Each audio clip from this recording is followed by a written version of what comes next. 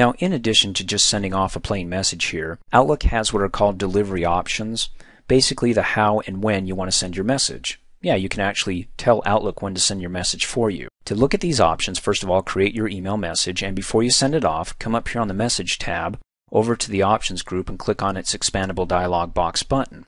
And I'm looking down below under the Delivery Options section, and you can use one or a combination of all these options here. First one is, is where do you want to have the reply sent to? Now by default, without checking it, it's going to be sent back to me. But if I check it, it'll actually dump my name in here because by default, I want to reply back. Of course, I could delete it if I want, but I won't. Also, I can select additional names by clicking on the button here.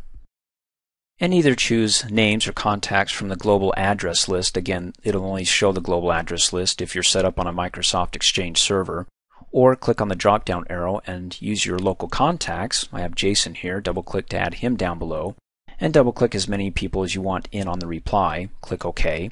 Now keeping in mind that it's just tied to this message, so when Carrie hits reply, not only will I get it, but also a copy will go to Jason and anybody else. The reason for that might be that if this is about an HR issue like customer support reps, how many do we want to hire, I may want the reply also sent back to Jason. So instead of getting the email back from Carrie and then forwarding on to Jason, I can avoid all these messages flying all over the place and just have the replies sent back to the people whom I think that it's important that they know what's going on or what Carrie thinks here. Next is the do not deliver before option. Check that. And it's the date and time. What that means is that I can have this message sit in my outbox and not deliver it until it hits tonight at 5 o'clock. Or I could say, click on the drop down arrow tomorrow, uh, May 20th, and let's do it at 5 a.m. Now, a couple things you want to keep in mind. When I click on the send button, this message again is going to go to the outbox and it's going to sit there until tomorrow morning at 5 a.m. Now, you got to have your Microsoft Outlook program open. If you don't have it open, it's not going to be delivered. It's not going to magically open up the program and send it for you. So again, one of two things you can do. Either leave Microsoft Outlook open all night and it'll shoot it off for you when it comes 5 a.m. or come in tomorrow before 5 a.m. and open up Outlook and it'll shoot it off for you. Or I guess the other option is is that just come in late at an hour or two hours after the time. When you open up Outlook, it'll see that it's past due or that you're past due and it'll shoot it off for you. One of the reasons why you might want to do this is, for example, sending this off to Carrie. I know she has a project that she's busily working on today, and I don't want to send her an email and interrupt her process there or her workflow look, I got my message done. I know what I want to say. I don't want to have to worry about sending it off later. I'll just automatically have it done for me when I come into work tomorrow, anytime after 5 a.m. Next, the expires after date and time. All that does is that when it comes due, let's say this email message is going to expire this Friday. All it does is when Carrie gets this message, when she opens it up on the info bar, when it comes past due, when it's like, let's say Friday at 6 p.m., it's going to have a little message that says this message has expired. Now you can take that meaning for whatever it's worth. Let me make a point. Let's say I need a ride to the dentist's office. My appointment's at 6 p.m. Friday night. My car's in the shop. I'm asking her if she can drive me to the dentist. Well, if she doesn't get the message until 6 p.m. and she opens it up and she's like, oh my gosh, take him to the dentist, and then she looks up here and says message has expired, then she's like, oh, I guess I'm too late. That's one way. Now this is what it looks like from the sender side when I send this off. I'm going to show you what it looks like when I receive a message from somebody else and that has an expiration date on that message, okay? So I'm going to go ahead and click close. When I click close, there's no save button. It just automatically saves it. All I have to do is go ahead and click send and off it goes. Well, it doesn't go out because remember, I set the delivery option to be tomorrow at 5 a.m. So it's just going to sit there. Now, if I need to make changes before it gets sent off, that's okay. Just come to the outbox here and go over here and double click and open it up because it hasn't been sent yet, right? And then I can come up here to the options group, click on its expandable box here, and make any changes, like maybe extend the delivery time and date, or put it out a little bit further. Or up at the top here, you got a few more options. They have what's called the request a delivery receipt for this message. Now, for some reason you're concerned that somebody's not getting your emails, well, you can get a kickback from the server that says, yes, we delivered this email to Carrie Heffernan. In addition to that, you can also, or separately, you can uncheck that as well, is you, you can request a read receipt for this message.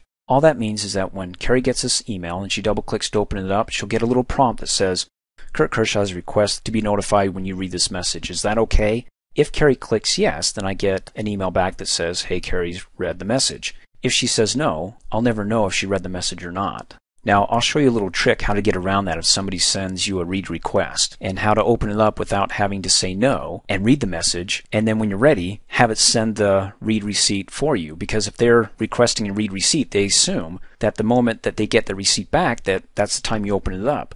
So if you're late for a birthday or something, or you want to be late for a birthday, or maybe going to the opera, again, I'll show you how to open it up without being caught and then pretend like you open it up later. Let me go ahead and check both. What I'm going to do is because we don't have much time to sit around to wait for this to be sent, I'll change the uh, delivery time here. We won't say it's tomorrow, let's say it's today.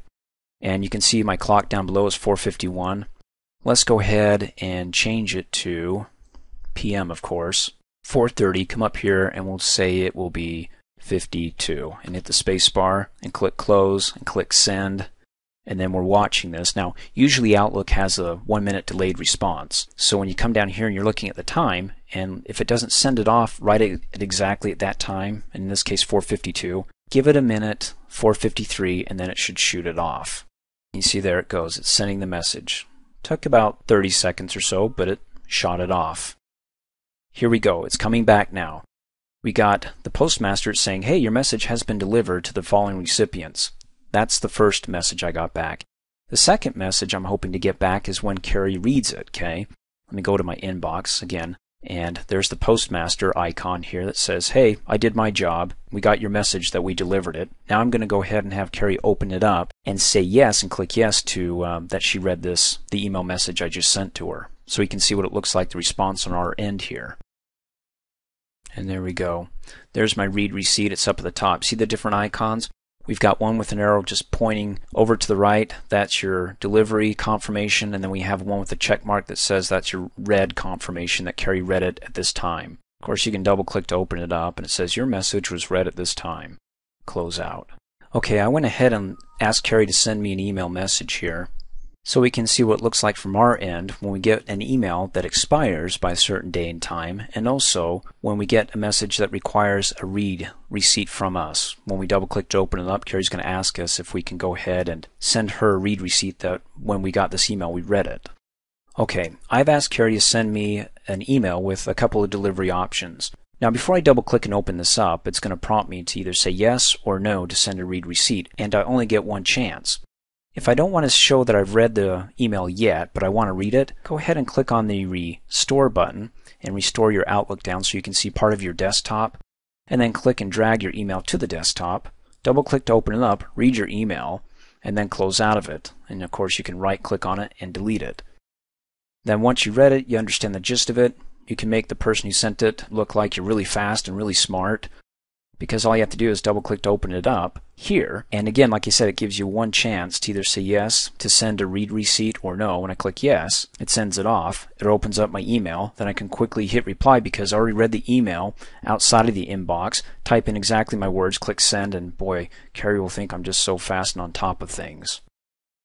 Now, this message is set to expire after 5 o'clock. Now, like I said, Microsoft is about a minute or two slow when it comes to pop-ups, tasks, and in this case also delivery expiration. Let me go ahead and close out of it and then give it a second or two until it hits about 502. Then I can go ahead and double click and open up that message and that's what I'm talking about. The message has expired at 5 o'clock. Again, it's just a visual cue. So when you get that, know that it doesn't matter according to Carrie who sent this email after this time because maybe she needed an answer before that time. Otherwise, she just had to go ahead without me and, in this case, schedule a time to have an on site with Micro. Then after a while, within a couple hours or at least the very next day, this expired message will actually have a line through it. So you'll even know before you open the message the next day if it's even worth opening. You'll see a line through the name, who it's from, the subject, just a gray line. It'll be faded out. Thanks for watching. Hey, as a quick reminder, if you like my video, please give it a thumbs up. You can also click on me and subscribe to my channel, get notified of the latest videos, and for only $2 a month, you can have access to all my Microsoft Office training videos.